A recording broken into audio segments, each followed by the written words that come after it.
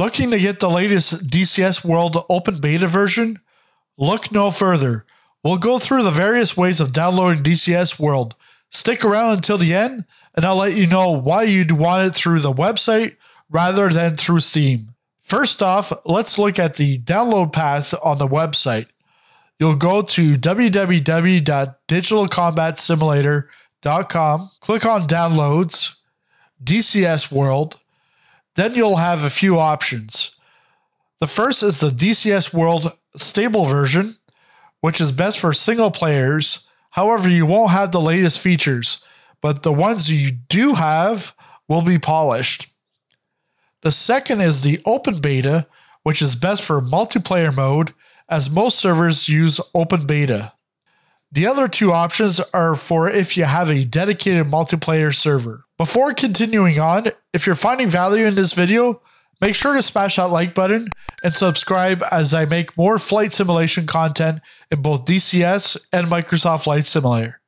The other way of downloading DCS World is through Steam.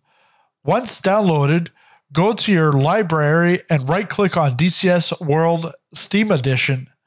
Go to Properties, Betas, in the drop down beside beta participation, choose open beta, public beta versions. Now, why would you want to get it through Eagle Dynamics website rather than through Steam? Here are four reasons.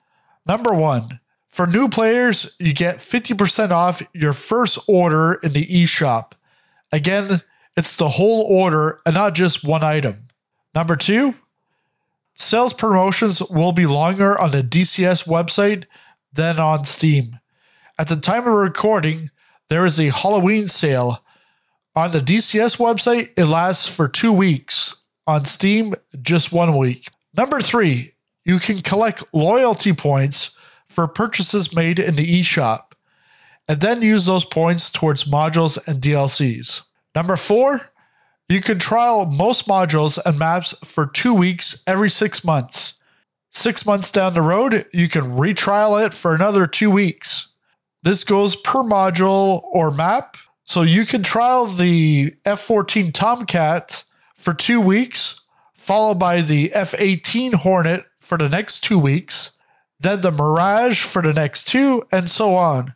Or you could do it both at the same time, like the F 14 Tomcat and the F 18 Hornet.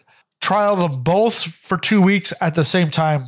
So you're not limited to one module or map to trial out at a time. Really, you could trial everything out, everything that is available to trial all at once for two weeks, but then you'll have to wait six months till you can trial it again. So, my question for you is which version are you using? DCS websites, the standalone version, or the Steam edition? And are you using the stable or the open beta? If you're really finding value in this video, please consider supporting the channel by becoming a member by clicking the join button or by leaving a super thanks by hitting the thanks button below. Thanks a lot for watching and I'll see you in the next video.